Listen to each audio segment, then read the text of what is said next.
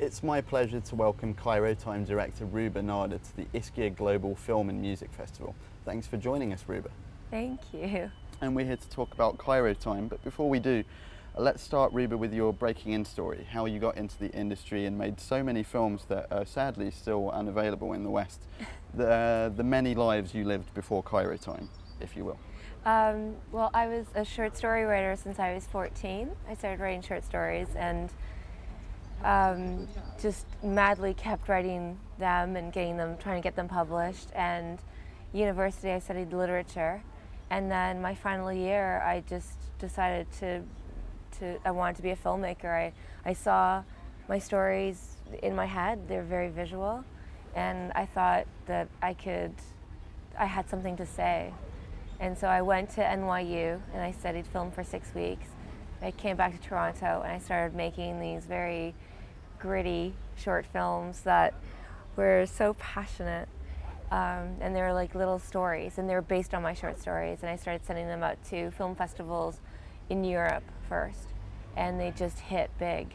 They they were very welcomed and very supported. And before I knew it, you know, like my first, my second short film that was called Do Nothing, which was a four-minute film starring my sister, my 11-year-old sister, had gone to over 400 film festivals internationally. And so I just kept building up until I'm here. Were these shoestring in terms of budget? Absolutely. I was working nine to five in this office job um, and taking every single penny I was making and putting them into my films.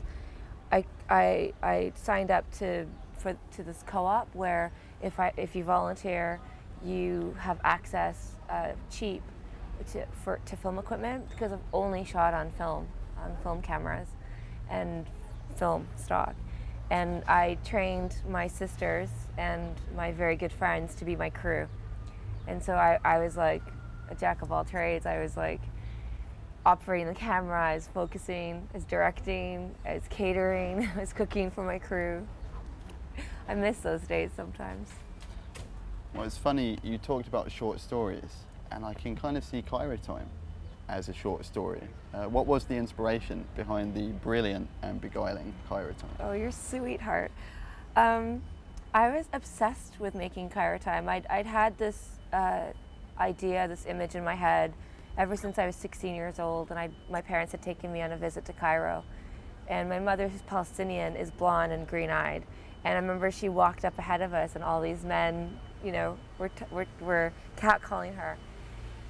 And so I, would had that image and I'd locked it away for years. And then more recently, I wanted to tell a story just about that was about real love. That was very romantic. That I felt that in the West, it had become all about immediate gratification.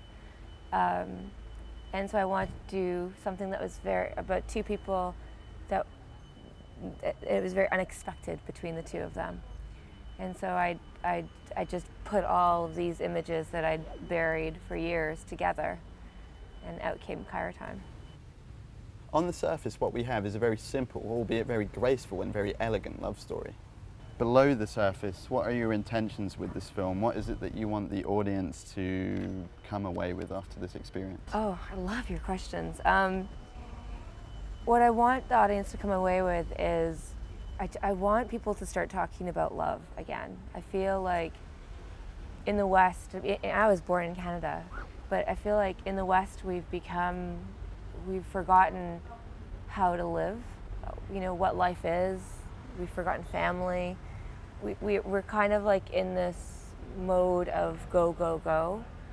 Um, whereas in the Middle East, it's kind of like Ischia. It's, you know, it's very laid back and you know, it, there's, there's, there's, there's, there's no obsessive hurry, anxiety towards checking your BlackBerry all the time and making sure you get back to people in 30 seconds. And so before you know it, your life is done. And, and, I, so, and so the bigger statement was that. It was about a woman who'd, you know, had spent a lifetime waiting to take that vacation with her husband. And, you know, she's waited most of her life. And so it's, and it's, Cairo chipping away at her guard. What do you find most intriguing about the arc of these characters, where they begin and where they end up? Well, because I'm a short story writer, I don't, I kind of, I'm rebellious with, um, you know, having like a beginning, middle, and end, and I'm, I'm rebellious again. I mean, I, I love story. I really focus on story. The thing about arcs and characters and themes and all that stuff, plot, is that it's become very Hollywoodized, and audiences can feel that. Like they feel like the characters aren't authentic.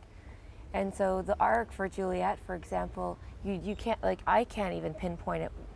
When I'm watching the movie, I can't pinpoint when they start to fall in love. And so by the end, I mean, I don't want to give it away, but by that last scene, your, your, your heart's broken with Juliet because you, you actually don't know when it happened. And, and so because you don't know when and you haven't seen it, it, hit, it takes you off guard, which is exactly what I wanted the feeling to be. I wanted it to be like a punch in the stomach for an audience. Well, you set me up beautifully for my next question, which is how can a film like Cairo Time be made in an American market that is currently only interested in the next Apatow comedy or things that go boom? This is easy because I I know that audiences at the end of the day want a story that's told with a point a strong point of view and that's told from a passionate place. The thing about Cairo Time is that it's it's very universal. Like we've all been there. We've all, you know, been in love with someone that we can't exactly be with or we can't have. It's a very universal story. Romeo and Juliet. Um, I, I I, I'm interested. I'm the kind of filmmaker. I'm. I've made my short films that are very gritty, and they were made with $500. I've made those films. Now I'm interested in making films that I'm crazy, still crazy about, but that can reach an audience.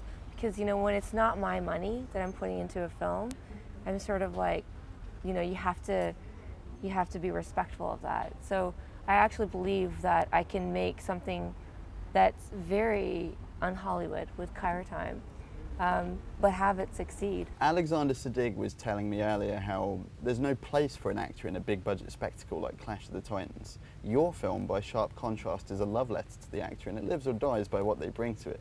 So talk us through the varying approaches that you use to coax the best out of an actor. Well, I actually wrote the role for Alexander. I've been a huge fan of his for years and I, as a director, I think my, the first thing I do is I make it extremely comfortable for them, and I make it so that they trust me.